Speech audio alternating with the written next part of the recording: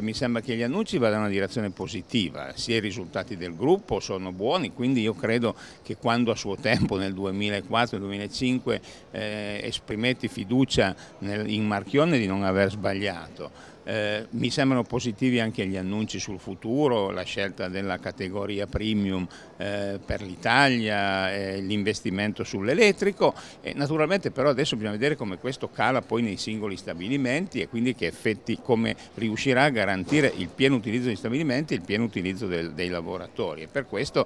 io ritorno sommessamente a chiedere un incontro sulla base del, del tavolo che avevamo fatto qui in Regione ormai circa tre mesi fa.